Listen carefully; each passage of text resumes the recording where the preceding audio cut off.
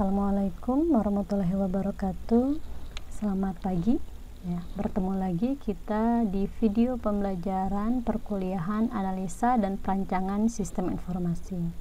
Baiklah, kita akan melanjutkan materi kita yang beberapa minggu yang lalu ya kita membahas mengenai uh, apa saja yang terjadi pada sistem yang berjalan ya mulai dari proses bisnisnya seperti apa yang kita gambarkan ke dalam bentuk activity diagram kemudian kita memaparkan secara rinci ya dokumen-dokumen yang kita temukan pada sistem yang berjalan tersebut di mana sistem uh, di mana dokumennya terbagi menjadi dua yaitu analisa dokumen keluaran dan analisa dokumen masukan.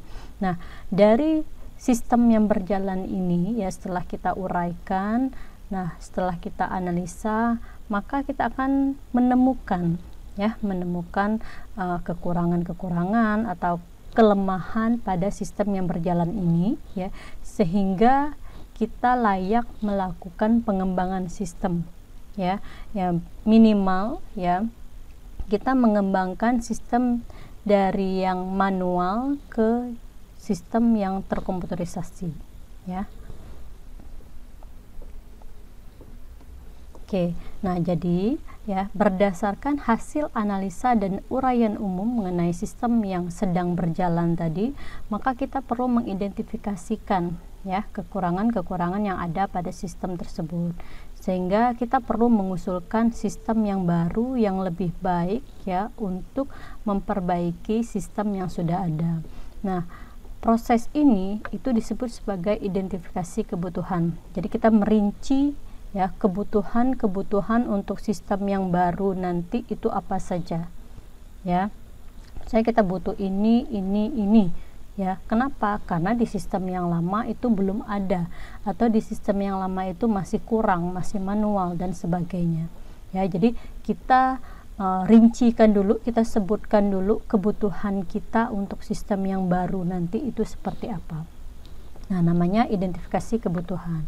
Nah, di sini ada beberapa contoh ya, rincian identifikasi kebutuhan. Ya, yang pertama misalnya pada sistem yang berjalan yang kemarin ya, itu e, menunjukkan contoh sistem informasi penjualan ya di masa di mana ya prosesnya masih dilakukan secara manual masih nyatat ya kemudian masih membuat merekap ya nah jadi kita butuh ya yang namanya uh, proses entry data pelanggan.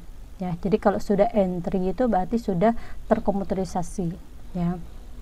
Kebutuhan entry data pelanggan. Masalahnya kenapa? Ya karena tidak adanya pencatatan seluruh data pelanggan yang melakukan transaksi pemesanan barang di perusahaan tersebut. Jadi kalau ada pelanggan itu tidak pernah didata.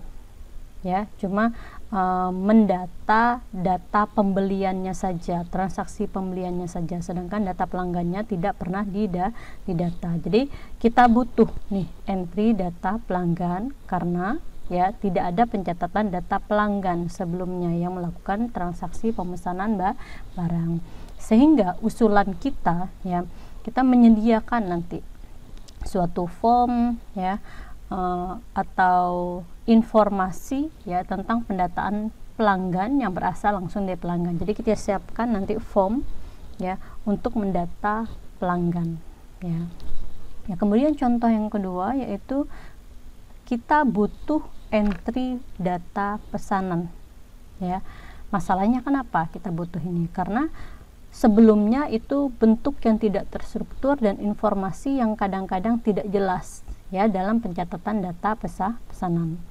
Jadi uh, pelanggan datang hanya menyebutkan saja saya mau pesan uh, semen tiga sak ya itu tidak dicatat ya. Nah, di sini kita butuh adanya pencatatan atau pengentrian data pesanan.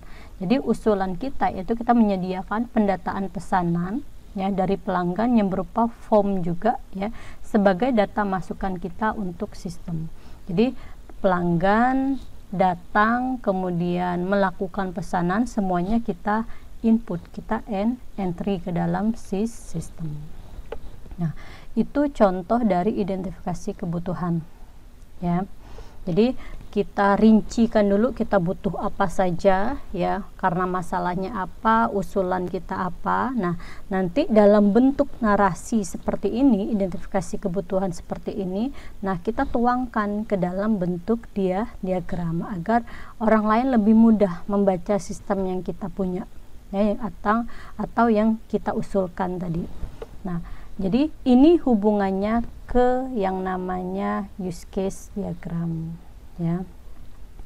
Nah, use case diagram ini itu agak berbeda dari activity diagram. Jadi dia fungsinya untuk menggambarkan kebutuhan sistem ya yang tadi kebutuhan identifikasi mengidentifikasi kebutuhannya kemudian kita gambarkan ke dalam bentuk use case dia diagram menggambarkan kebutuhan sistem dari sudut pandang user ya yang memfokuskan pada proses komputerisasi jadi proses-proses uh, yang kita gambarkan ya pada use case diagram ini itu sudah fokus ke proses yang sudah terkomputerisasi. Makanya tadi ada yang namanya entry data pelanggan entry data pesanan. Kemudian nanti kalau biasanya kita membuat itu kita cetak ya cetak laporan penjualan seperti itu ya. Jadi use case diagram ini menggambarkan hubungan antara use case dengan aktor. Ya, jadi use case ini adalah kebutuhannya, aktor ini adalah yang menjalankan uh, proses kebutuhan sistem tersebut. Ya, jadi use case menggambarkan proses sistem kebutuhan sistem dari sudut pandang user. Jadi user ini butuh apa sih? Ya, user ini adalah uh, aktor aktif yang akan menjalankan sistem tersebut ya sistem informasi penjualan tersebut. Nah dia butuh apa? Dia butuh proses entry data pelanggan untuk mendata pelanggan kemudian entry data pesanan untuk mendata semua transaksi pemesa pemesanan. Nah jadi secara umum use case itu bisa kita sebutkan sebagai pola perilaku sistem ya perilaku berarti apa saja yang dapat dilakukan oleh sistem ya. Kemudian dia merupakan urutan transaksi yang saling berhubungan yang dilakukan oleh seorang aktor. Jadi aktor aktifnya akan melakukan transaksi apa saja ya.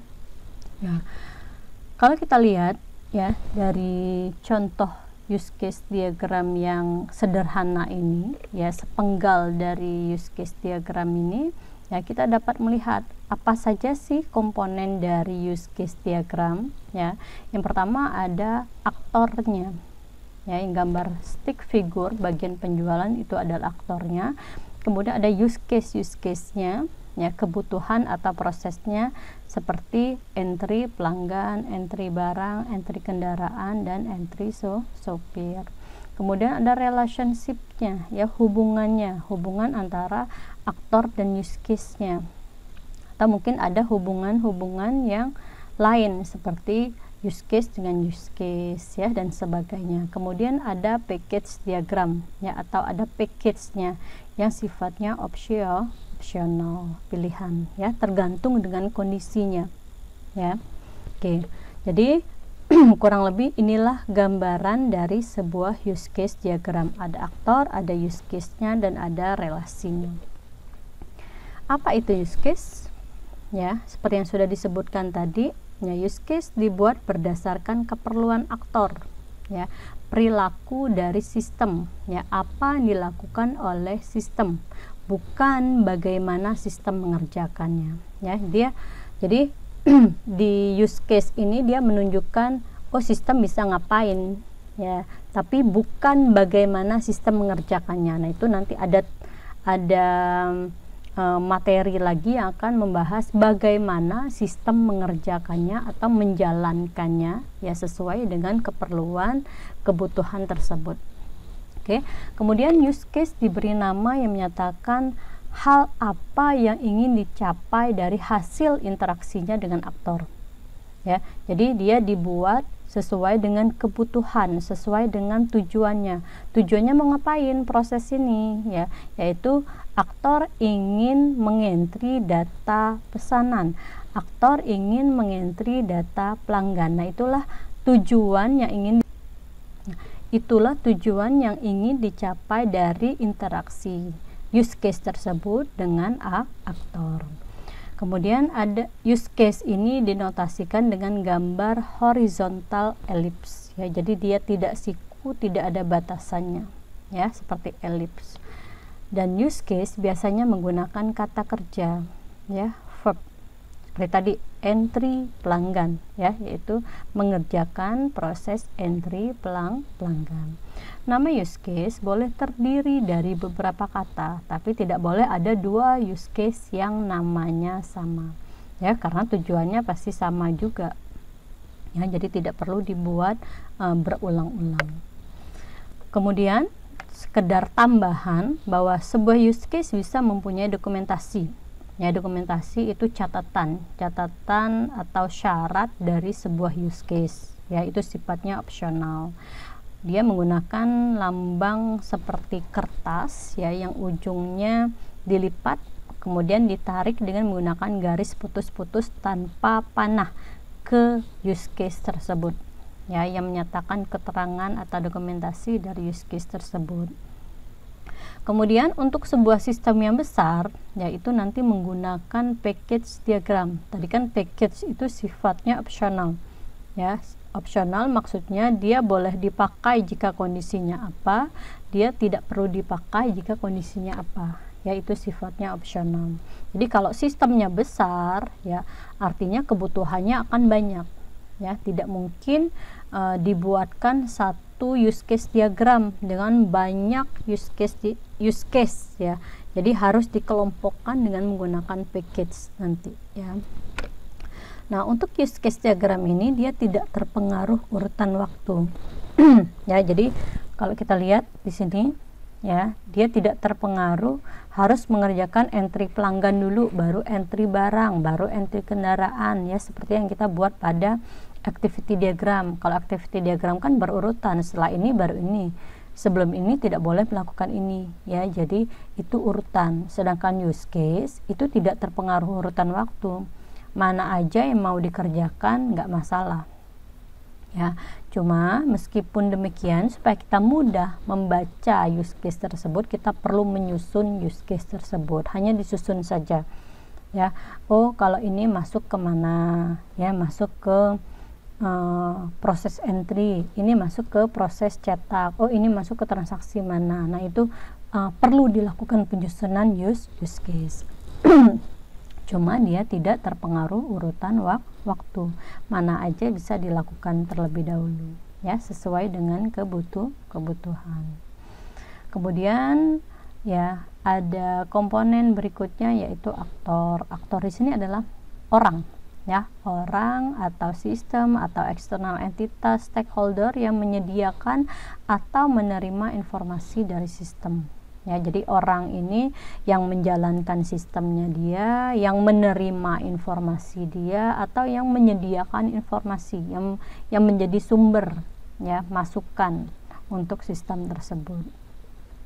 Jadi aktor memberi input memberi masukan dan menerima output atau keluaran dari sistem yang kita bangun tersebut nah untuk aktor ya biasanya menggunakan kata benda atau non digambarkan dengan stick figure seperti ini ya stick figure dan uh, aplikasi-aplikasi uh, yang mendukung pembuatan UML juga sudah menyediakan untuk aktor ini digambarkan dengan stick fig stick figure.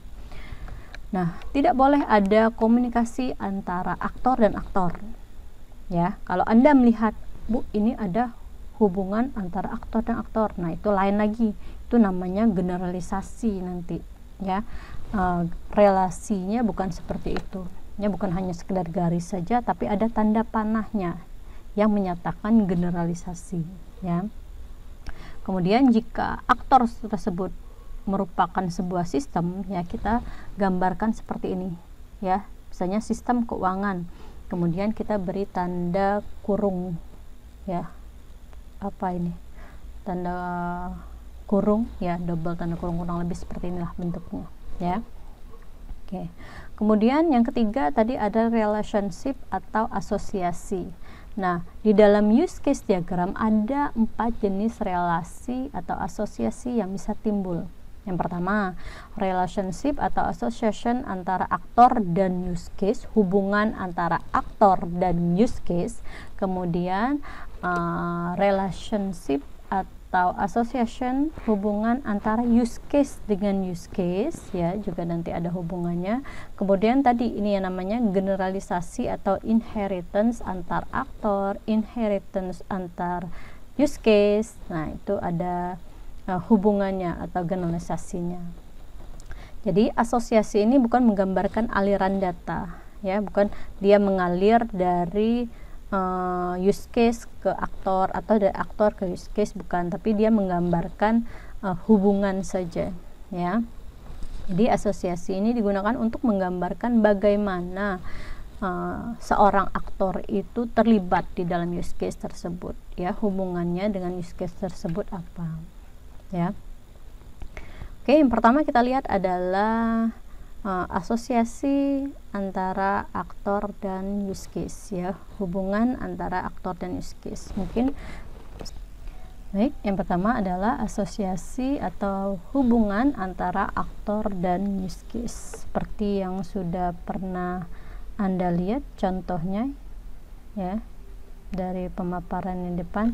Ini menunjukkan hubungan ya garis ini menunjukkan hubungan antara aktor dan use case ya jadi dia menggunakan sebuah garis tanpa panah. Ya. Jadi ujung panah pada asosiasi antar aktor dan use case mengindikasikan siapa atau apa yang meminta interaksi. Ya bukan mengindikasikan aliran data. Ya jadi sebaiknya menggunakan uh, garis tanpa panah untuk asosiasi antar aktor dan use case. Kemudian uh, aktor itu terbagi menjadi dua ya.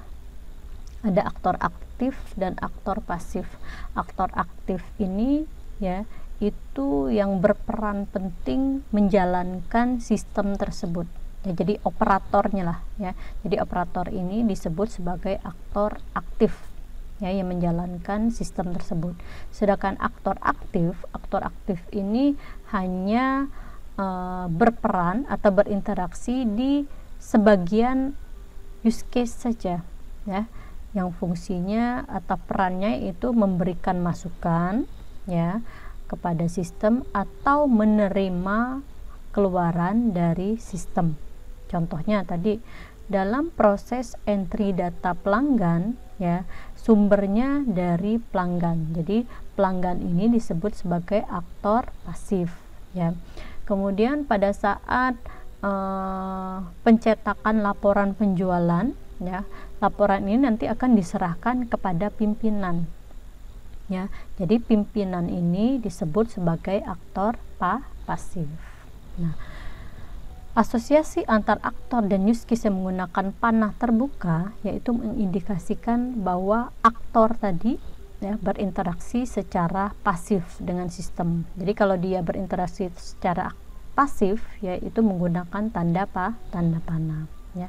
Tapi ya di sini kita nggak bingung-bingung lagi ya apakah menggunakan tanda panah atau tidak ya karena kan kita melihat dari uh, fungsi aktornya apakah aktif atau pasif. Nah, jadi kita bedakan saja ya, kita bedakan bahwa kalau dia aktor aktif kita letakkan di sebelah kiri ya. Contohnya yang ini ya.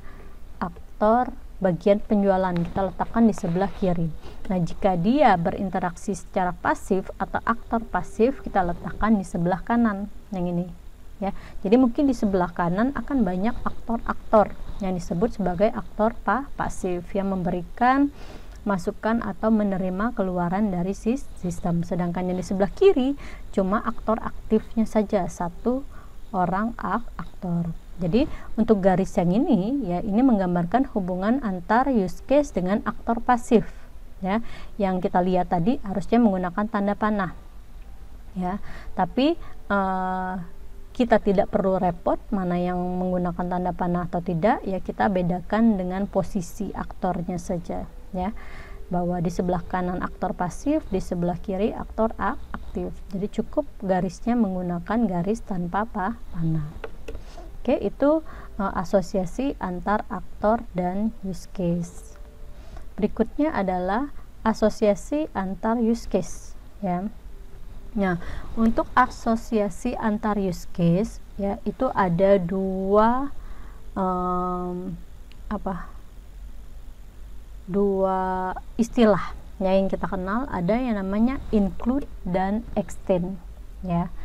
Dia disebut include jika ya use case tersebut termasuk di dalam use case yang lain yang sifatnya diharuskan ya artinya di sini sebuah use case akan memanggil use case yang lah yang lain ya jadi antara use case yang satu berhubungan dengan use case yang lain ya use case ini akan memanggil use case yang ini nanti ya Contohnya adalah pemanggilan sebuah fungsi program.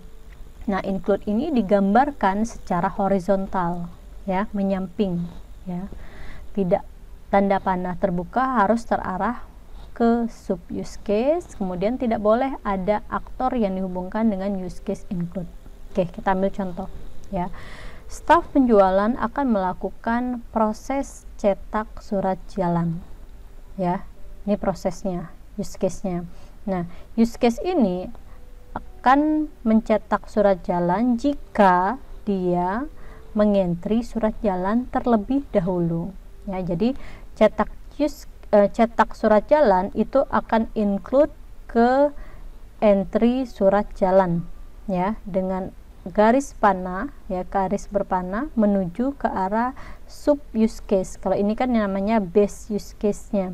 Sedangkan ini sub use case. Tapi dia akan memanggil terlebih dari terlebih dahulu fungsi dari use case yang ini. Ya ini kan pemanggilan sebuah fungsi program ya. Jadi ini dulu yang dikerjakan baru ini ya. Jadi ini sifatnya harus kalau sebelum cetak kita harus mengentri data surat jalan. Kemudian kita beri keterangan bahwa hubungan ini antara use case dengan use case ini adalah in include ya harus. Nah kemudian dia digambarkan secara horizontal ya menyamping ke samping. Nah beda halnya dengan extend ya. Extend ini perluasan dari use case yang lain jika kondisi atau syaratnya terpenuhi. Ya. Kemudian tidak perlu mengguna, uh, tidak perlu menggunakan extend terlalu banyak ya karena akan membuat diagram kita sulit dipahami. Kemudian tanda panah terbuka harus terarah ke base use case ya kebalikan berarti dari include tadi. Kalau include ke arah sub use case sedangkan kalau extend ke arah base use case nya ya Extend lebih baik digambarkan secara vertikal. Jadi untuk membedakan antara penggunaan include dan extend, ya kalau include digambarkan secara horizontal, sedangkan extend digambarkan secara vertikal. Ya. Kemudian tidak boleh ada hubungan antara aktor dengan use case extend. Sama tadi ya, tidak boleh ada hubungan antara aktor dengan use case in include. Jadi contohnya di sini staf perpustakaan akan melakukan uh, proses entry pengembalian ya. Dalam proses entry pengembalian ya jika ada uh, anggota yang telat ya atau uh, mengembalikan buku dalam keadaan rusak ya tidak sesuai dengan semestinya dia akan dikenakan denda. Maka ya akan ada proses entry denda yang dijalankan. Jadi ini sifatnya opsional ya jika kondisi atau syaratnya terpenuhi. Berarti bukan setiap kali kita ngentri pengembalian harus entry denda tidak. Beda dengan include tadi ya tapi jika pada saat pengentrian pengembalian ada kondisi ya di mana uh, anggota tidak mengembalikan sesuai dengan waktunya atau sesuai dengan uh, buku yang dipinjam dulu berarti harus ada entry dan denda harus dijalankan ini dijalankanlah proses entry dan denda. Jadi hubungan antara use case entry denda dan entry pengembalian itu adalah extend di mana panahnya menuju ke arah base use case. Ini base use case nya ya. Base ini yang berhubungan dengan aktor. Jadi aktor ini tidak boleh dihubungkan ada garis yang menghubungkan dengan use case X extend. Sama seperti tadi ya. Tidak boleh ada hubungan atau garis yang menggambarkan uh, hubungan antara staf penjualan aktor ini ke sub use case entry surat jalan. Oke, jadi kalau dilihat di sini, ya kalau include itu ya formnya ada satu. Ya kita harus entry form entry surat jalan dulu baru cetak surat jalan tapi tujuan utamanya adalah cetak surat jalan. Sedangkan extend ya seperti ini. Jadi ada form entry pengembalian sendiri kemudian ada form tersendiri untuk entry dan denda. Ada dua form seperti ini ya. Karena form ini bisa dijalankan bisa tidak sifatnya opsional. Nah itu hubungan atau asosiasi antar use case. Berikutnya adalah generalisasi atau inheritance. Inheritance itu perwalis, pewarisan ya yang digambarkan dengan sebuah garis berpanah tertutup pada salah satu ujungnya yang menunjukkan ke arah yang lebih umum. Ya biasanya digambarkan secara vertikal. Nah kalau contoh nah ini contoh untuk generalisasi atau inheritance antar use case. Seperti ini. Ya dibuat ketika ada sebuah keadaan yang lain atau mempunyai perlakuan khusus. Ya inheriting use case di bawah base atau parent use case ya. Ini base use case nya kemudian ini inheriting use case nya ya ada pembayaran dan pembayaran khusus.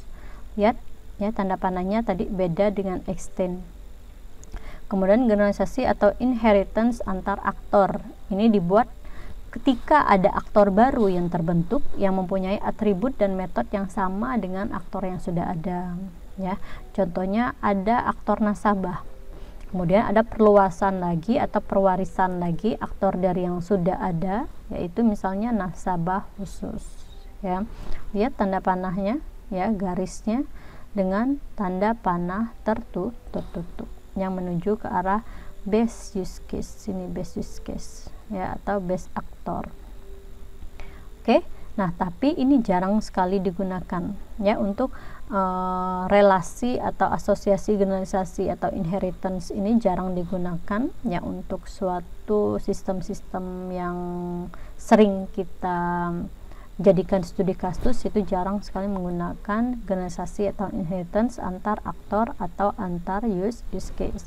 Tapi untuk yang kedua relasi ini yaitu asosiasi antar use case dan aktor dan asosiasi antar use case itu sangat-sangat sering digunakan ya.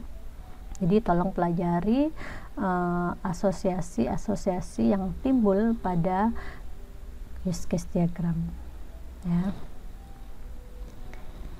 Nah ini contohnya ya. Tadi sudah ditunjukkan di awal ya. Use case diagram master sistem usulan.